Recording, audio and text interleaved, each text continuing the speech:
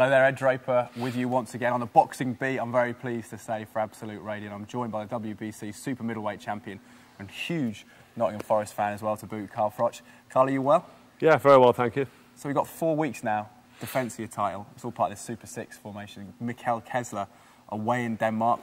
Is training going well? Because we're, joined, we're talking to people from the English Institute of Sport here, cra cracking facilities. Mm. But you, uh, you in shape, ready for this? Yeah, definitely. You know, I've been training for the best part of, what, eight weeks. I've got another four, maybe five weeks left. The fight's on the 24th of April. Mm. So, you know, the facilities, as you said here, they're fantastic. You've had a look around yourself. We've got an indoor running track just out these doors here. Um, we've got the regeneration room, I think they call it, ice baths, sauna, jacuzzi. So you can sit in there after you've um, had a hard workout three rings, all the bags, my trainer Rob McCracken, he's here, and I've got my sparring partner, so everything's laid on, all I need. All set. Kessler, he's of course the guy who fought Joe Calzaghe, he lost Joe Calzaghe a few years ago, people hmm. remember mm. him from that. Danish guy, he lost his last fight, but I suppose you can't really underestimate him just because of the fact that he is, he's got a great pedigree as well. No, not at all. He's got a chink in his armour now, he's lost that fight, he lost to, um, like you say, Calzaghe a few years ago, but he's still a great fighter, he's, um, he is a very class fighter, good form, strong, good experience, He's durable, he's tough, he can punch, he can box, he can fight up close if he has to, you know, so he's got a lot going for him. But unfortunately, he's up against the Cobra, the current undefeated, reigning and defending world champion. So he's got it all to um, he's got it all to do. The only the only thing he's really got going for him it's he's in his hometown in Denmark, which is an unusual scenario for somebody who's lost the last fight to go straight in for a world title fight and have it in their backyard. But that's the Super Six World Boxing Classic. That's what it brings to the table. Win, lose or draw, there's three fights yeah, in the early stages. Just explain a little bit about Super Six is basically the way it works. Six of the world's best boxers going up against each other. You can lose your belt one month and a couple of months later you get a shot at another belt. That's right. I mean, in the group stages, it's almost like a round robin. Mm. We fight each other three fights, win, lose or draw. My first fight was um, a little weasel from America called Andre Dirrell. I say that because he runs and holds, and I hope Abraham bangs him out. And then I got Kessler, then Abraham myself. So there's three fights there. Win, lose or draw, them three fights are all happening. And it's a point-based system. Um, two of the fighters out of the six with the lowest points after the three fights, they get dropped out of the tournament, and then the four go through to a straight semi-final. So knockout is probably you get score high points for a knockout. You get a bonus point for a knockout, two points for a win, one point for a draw, and obviously nothing for a loss. Brilliant. You mentioned Calzaghe. He's been talking a little bit about you, and I think getting on your, your nerves a little bit because he wouldn't fight you when he was when he was in boxing. Murmurs about him coming back, but I don't think you, you think he will. I don't think he'll be back. No, no. He's, he's getting old. He's getting fat. He's sitting on his settee eating, and um, you know he's he might be sitting there thinking, "Oh, should have done this, could have done that." But it's all would have, should have. He was he was WBC champion. I was mandatory. He had his opportunity to earn big money and defend against me, and he chose not to. It's as simple as that. He did not want to fight the Cobra because he knew he was probably going to get one of these on the chin, and it was going to be all over. So you know he's retired, so he makes a bit of noise he's snapping at my ankles like a little Jack Russell at the minute, just yeah. trying to get a little bit of publicity. But he's boring. Even if he does want to come out of retirement, he's got to get in the queue because I've got um, I've got people lining up to fight me. I'm contracted to fight in this tournament for another 18 months, stroke two years. So, you know, he's finished. He's finished. He needs to leave it alone. Interesting stuff. Football-wise, talking about finishing, you're a Forest fan people out there looking at the table, West Brom and Newcastle seemingly looking like likely for those automatic promotion places. Does it look like the, the playoffs, possibly a day out at Wembley for Forest? It does, yeah. I mean, it would probably be a great day out at Wembley, and if we, if we do the business to come through in the playoffs, it's always exciting. It's great for the fans, but it's, it's a precarious time for Forest. I mean, their away form was unbelievable. For I don't know how many away matches we won on the spin, yeah. and then all of a sudden, just recently, we've lost a couple it's away. away, isn't it? it home, has, home yeah. record's great as well. Yeah, home record's great. We can't seem to win away from home.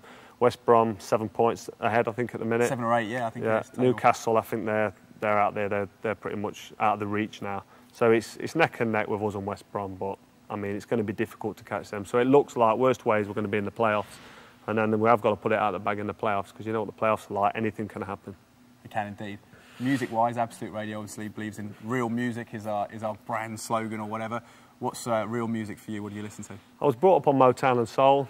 Um, I like R&B and hip hop. I, I, love a bit of Eminem. I mean, I used to a few years ago, yeah. but I don't really listen to that stuff anymore. I play the guitar, so Johnny Cash nice. is always. Lovely. Yeah, I heard that Johnny Cash. What's Johnny your, Cash is a favourite. Johnny Cash uh, you know, Folsom Prison Blues is an old classic, and um, I don't know if you've seen the film Walk the Line. And Joaquin yeah, Phoenix, I've seen that. Joaquin Phoenix. Joaquin yeah, Phoenix, yeah. he played um, Johnny Cash, and Reese Witherspoon played his second wife, June Carter Cash. Yeah. So, you know, that was a really, really good film. And I got into the music through playing the guitar and I've got him on my iPod in my in my car now. So I do. I listen to it. It's nice mellow music. You can listen to a bit of country when you're running, and it just sort of mellows you out, and it's not too head banging. So yeah, I enjoy a good wide range of music, but Johnny Yeah. Cash is up there as a legend. Maybe you don't listen to Hurt just before you go out. It's probably a bit No, no, no. It's one of his one of his yeah. last ones as Yeah, well. One of his latest songs. Nine Inch Nails cover, wasn't it? It's Exactly, yeah. Emotional song. Um, it's going to be emotional in- in your boxing, but what else do you do outside of uh, the ring to relax?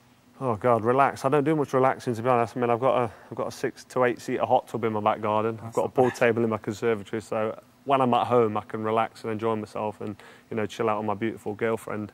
Um, but other than that, I've got a string of properties. They keep me very busy. The phone will ring and the boiler's broke down, or there's a leak in the bathroom, or some tenants left um, left about a thousand fleas with the dogs got fleas and they've done a runner, so I have to go around with environmental health. There's always something happening in, in my life in between fights, and I'm currently doing my own property up at the minute and um, you know redeveloping that. So I'm always always busy. I like to go to the cinema and I like to play snooker. I've got a good friend, Michael Holt. He's just qualified actually for the Worlds. In this place right. last week, he qualified in the snooker Yeah. tournament, so he's going to be in the Worlds um, starting on the 17th, I think. So hopefully, when I get back from Denmark, I can watch him in the semis or the finals of the snooker World Championships. So I'm into a ri- wide range. I even play a bit of tennis, but I always get whooped off my older brother Lee, and it's annoying. What, what were your plans? Beat Kessler.